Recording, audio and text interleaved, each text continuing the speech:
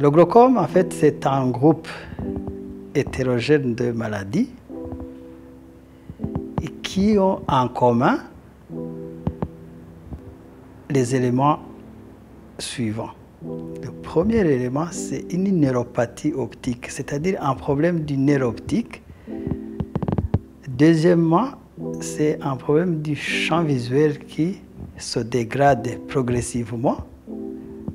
Et en troisième lieu, c'est une perte de vue qui, plus tard, devient irréversible s'il n'est pas traité à temps. Et il faut aussi signaler que avant, on confondait un peu le, le glaucome avec l'hypertension intraoculaire. Mais il y a quelques années, on a trouvé que il y a des gens qui ont le glaucome, mais qui n'ont pas une hypertension intraoculaire. Donc, ils ont dit que l'hypertension intraoculaire, c'est le facteur le plus important du glaucome.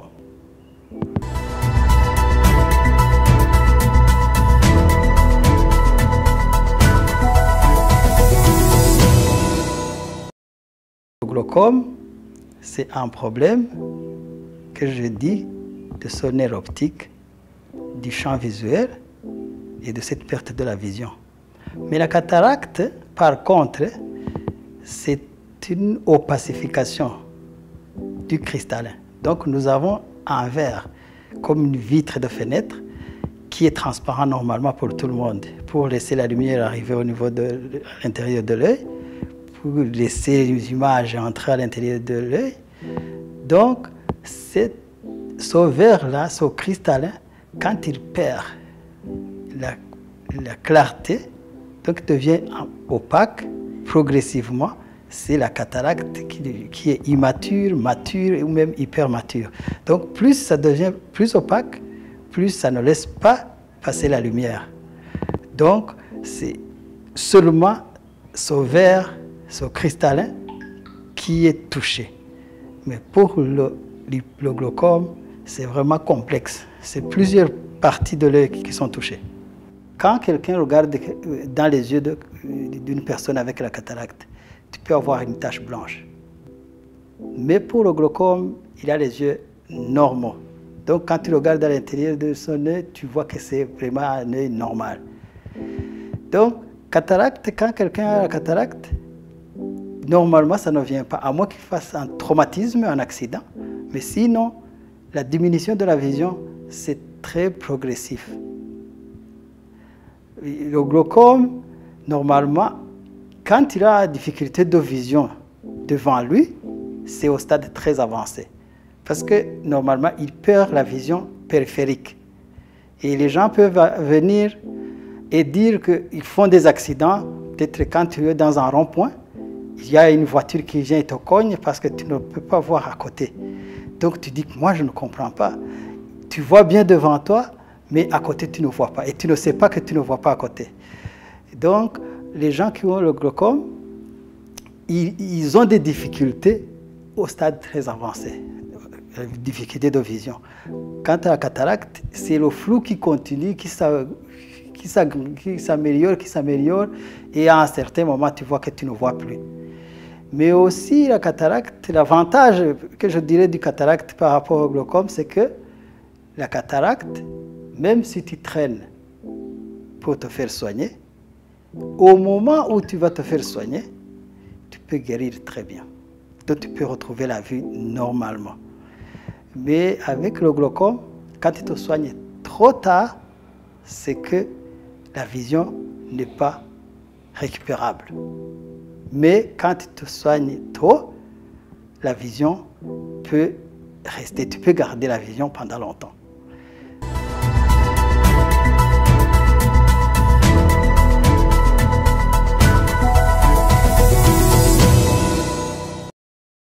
Le on peut le classer en presque trois ou quatre, ça dépend du type de classification. Mais on a un glaucome congénital les enfants peuvent naître avec le glaucome. On peut avoir le glaucome qu'on dit primitif ou un glaucome dit secondaire. Alors, nous avons un glaucome qu'on dit à angle ouvert et à angle fermé. Donc le glaucome à angle fermé, les angles, quand on parle d'angle, il y a une partie à l'intérieur de l'œil euh, qui est imitée par deux structures de l'œil, l'un qui est l'iris et l'autre qui est la cornée. Là où les deux structures se rencontrent, il forme un angle. Et cet angle peut être petit ou peut être grand. Donc si l'angle est grand, c'est l'angle ouvert. Si c'est petit presque inexistant, si se collent les deux structures, donc on dit que c'est un angle fermé. Et à travers cet angle-là, c'est là où il y a un liquide qui circule à l'intérieur de l'œil qu'on appelle l'humeur aqueuse, qui est produit par ce qu'on appelle les corps ciliés, qui circule dans ce qu'on appelle la chambre postérieure, à côté du cristallin. Il entre dans la pupille et il est dans la chambre antérieure pour circuler à travers ces trous au niveau de l'angle irido-cornéen, donc entre l'iris et la cornée. Et cet angle-là, quand il est ouvert, c'est différent que quand il est fermé. Mais les deux, on peut avoir le glaucome. Donc le glaucome, c'est peut être dû à l'hypertension de l'œil qui peut donc comprimer le nerf optique et entraîner cette neuropathie, donc agrandir là ce qu'on appelle le cap le plus fréquent, c'est le, glaucome primitif à angle ouvert qui touche beaucoup de gens. On dit approximativement qu'après 35 ans, 35-40 ans, la plupart des gens peuvent avoir, peuvent avoir le, le glaucome, ce glaucome à angle ouvert, mais qui est primitif. Primitif, c'est-à-dire sans cause euh, visible. Mais le glaucome secondaire, c'est dû peut-être à un traumatisme, c'est dû à quelques... Il y a des produits qu'on peut prendre, comme même les colliers, quelques colliers, qui sont efficaces, mais qui peuvent induire une hypertension et donner le glaucome.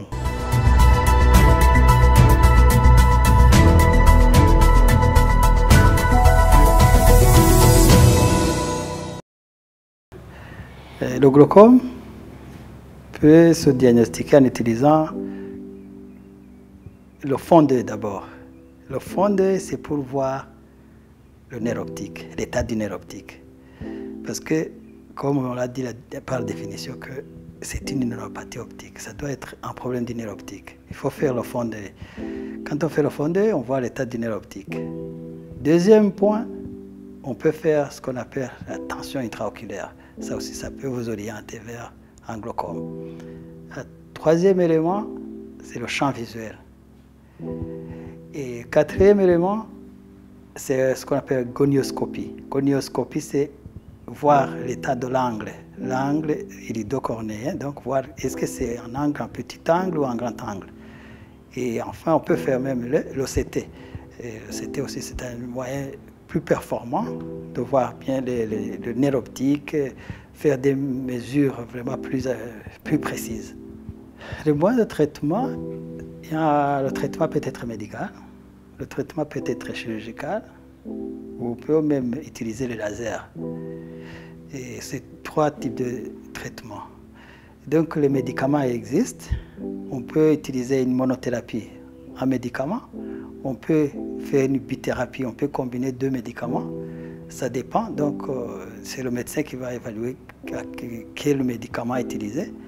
Et il y a plusieurs classes de médicaments qu'on utilise pour traiter le glaucome. Il y a des gens qui préfèrent commencer par même le laser. Il y a des, si, le laser est disponible.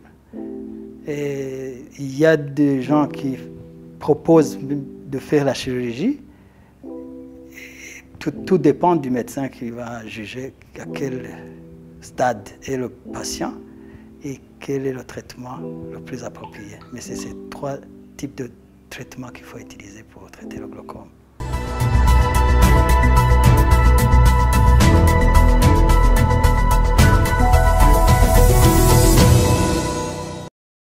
Il y a des facteurs de risque. Les facteurs de risque, il y a d'abord l'histoire familiale. Donc quand un patient vient, et qu'on fait peut-être même le fond d'œil, et que tu vois que le fond d'œil n'est pas bon, on fait directement, on peut, on peut demander, est-ce que dans la famille, tu as quelqu'un qui a été aveugle, qui ne voit pas, qui a eu beaucoup de difficultés des yeux et qui, a, qui ne voit pas bien ou qui, qui ne voyait pas du tout, qui est mort et qui ne voyait pas du tout. Ou quand il connaît, ça va. S'il ne connaît pas, on continue à demander d'autres éléments. Alors, on peut demander s'il y a, s'il y a même les gens qui ont le diabète, l'hypertension, les maladies cardiovasculaires, les, les gens qui ont même euh, euh, qui, prennent du, tabac, on peut imaginer que la race, euh, les gens qui ont le glaucome à angle ouvert, c'est beaucoup plus d'autres types d'Africains. Mais là, à angle fermé, c'est beaucoup plus les Japonais, les Chinois. Ces gens de petite taille, ils ont, ils ont souvent là le glaucome à angle fermé. Mais le premier élément qu'il faut chercher, c'est la tension intraoculaire. Mais aussi, c'est l'âge. On a dit qu'il y a un âge où on a vu que la majorité des gens ont le glaucome. Et les gens qui ont utilisé beaucoup de médicaments des yeux, les collyres là qu'on utilise, il y a des gens qui utilisent des collyres qui peuvent provoquer le glaucome en fait. Euh, les gens qui ont un traumatisme de l'œil, ils peuvent avoir un problème et ça peut impliquer quelqu'un à avoir le glaucome.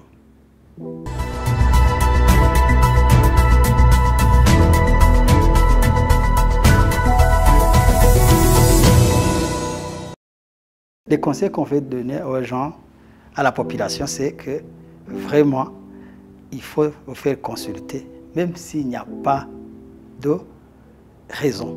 C'est-à-dire, après une trentaine d'années, 40 ans, il faut vraiment visiter un médecin et te faire examiner, voir si vraiment ton, ton œil ou ton air optique est vraiment dans les limites de la normale et voir que tu ne peux pas être surpris à un certain moment. Parce que si on trouve que tu as une anomalie, attends, on te stabilise avec ces médicaments et tu peux vivre longtemps et il n'y aura pas de difficultés vraiment majeures. Donc le conseil, c'est de visiter le médecin à temps, être vraiment euh, disponible pour vraiment respecter même les conseils que vous a donnés. Euh, et s'il y a un signe quelconque, il faudrait vraiment visiter le médecin pour conclure, savoir s'il y a un problème ou pas.